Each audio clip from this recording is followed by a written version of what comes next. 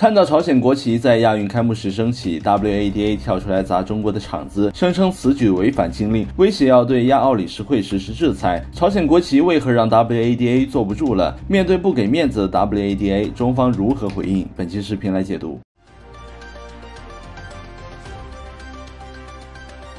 作为亚洲最盛大的体育赛事之一，杭州亚运会备受国际社会关注。值得注意的是，中国作为本届亚运会的东道主，受到了亚洲各国的高度认可。不仅饱受战乱的叙利亚和伊拉克派出代表团参赛，一直保持神秘面纱的朝鲜代表团也出现在亚运开幕式。对朝鲜而言，参加杭州亚运会展示他们时隔五年重回国际赛事舞台。在2018年雅加达亚运会后，朝鲜为了遏制新冠疫情扩散，实施了非常严格的防。防疫措施，甚至还关闭了边境。日本东京举行的奥运会，朝鲜没有参加，为此还被国际奥委会禁赛。这次杭州亚运会，朝鲜破天荒派出一百九十一人的代表团，规模超过了仁川亚运和雅加达亚运，为历史之最。可以看到，朝鲜对中国主办的盛大体育赛事非常重视。然而，朝鲜刚刚登上杭州亚运赛场，就有国际机构跳出来砸场子，威胁要进行制裁，完全不给东道主中国面子。这个国际机构就是国际反兴。分剂机构 WADA，WADA 称，朝鲜因为在2021年违反相关规定，已经被禁止在大型赛事使用国旗。然而，在杭州亚运开幕式上，朝鲜代表团高举国旗登场，这违反了禁令。WADA 称，朝鲜至今没有遵守反兴奋剂条例，这个情况已经告知所有国际体育机构，包括亚奥理事会，在必要情况下，WADA 将启动相关处罚程序，对违反禁令的人员进行惩罚。对此，亚奥理事会代理主席辛格。做出回应，明确表示朝方已经向他们陈述相关问题，目前正在与 WADA 进行沟通。在体育赛事中，反兴奋剂是确保公平的好事，WADA 要严格执行相关规定也无可厚非。然而，作为反兴奋剂机构，WADA 完全不掩饰自身的双标立场，既然批准欧美运动员持证嗑药，对发展中国家运动员则是鸡蛋里面挑骨头，这使得该机构的名声臭不可闻。在二零一六年九月十三号，一个名叫奇幻熊的网络黑客。组织在里约奥运会期间入侵 WADA 的数据库，结果发现该机构居然有一份持证嗑药运动员名单。一个月后，奇幻熊公布名单，外界惊讶地发现，有多达一百二十七名运动员存在持证嗑药的情况，其中绝大多数是欧美运动员。在这份持证嗑药运动员名单中，美国的人数高居榜首，达到二十八人，英国紧随其后，有二十四人入围。加拿大、德国、丹麦、意大利分别有十二人、十人、六人和五人。除了欧美国家。人数最多的是有八人的澳大利亚，随后是四人的日本，没有中国运动员出现在名单中。令人意外的是，即使持证嗑药名单被曝光，涉事的运动员也没有受到很大影响，他们依然正常参赛。相比之下，俄罗斯运动员因为兴奋剂问题饱受抨击，甚至整个俄罗斯代表团都被东京奥运会拒之门外。